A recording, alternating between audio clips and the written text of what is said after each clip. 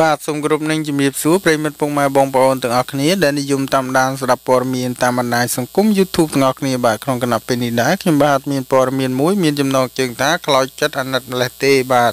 ជួយ share បន្តផងជនបរទេសម្នាក់ដែលដើរ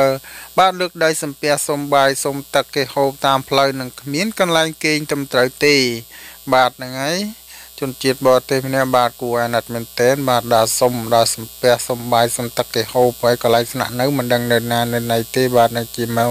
មកពីមូលហេតុអ្វីទេបាទមុននឹងចូលទស្សនានៅអត្ថបទព័ត៌មាននេះសូមជួយ Subscribe ឬហៅចូលរូបសញ្ញាកណ្ដឹង Like និង Share ដើម្បីនឹងទទួលបានព័ត៌មានថ្មីៗជារៀងរាល់ថ្ងៃ បាទនៅប៉ោយប៉ែតនៅពេលលាថ្មីថ្មីនេះមានបរិសម្នាក់ដែលជាជនជាតិបរទេសត្រូវបានគេប្រទះឃើញថាមានសកម្មភាពពិបាកមើលហើយគាត់ដើរដាច់បាយដាច់ទឹកមិនដឹងថាគាត់រស់នៅប្រទេសណាទេមិនដឹងត្រឹមតែប៉ុណ្ណោះទេគាត់ដើរលើកដៃសំពះប្រជាជនខ្មែរទំនងដើម្បីសុំបាទរបស់ហូបខ្លះនឹងសុំប្រាក់ខ្លះដើម្បីទុកទិញទឹកទិញចំណីទុកហូបជាដើម បាទព្រោះមើលទៅ ជនជាតិបរទេសម្នាក់នេះ បាទដូចជាជនអនាថាម្នាក់អញ្ចឹង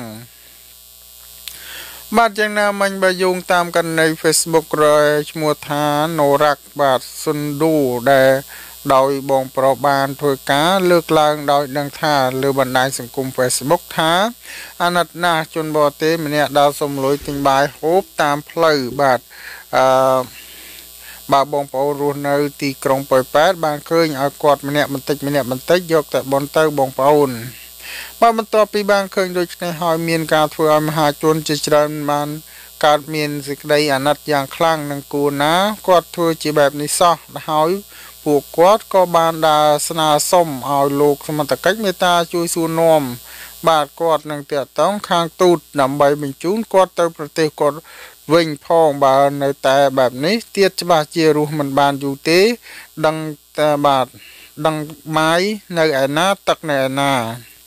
បាទហ្នឹងហើយគួរតែតាក់ទងមកទៅស្ថានទូតដើម្បីឲ្យទូតគេជួយដោះស្រាយដើម្បីនឹងបញ្ជូនទៅស្រុកប្រទេសកំណើតគាត់វិញ បាទគួរអាណិតណាដល់សុំមិនជាបញ្ហាអ្វីទេ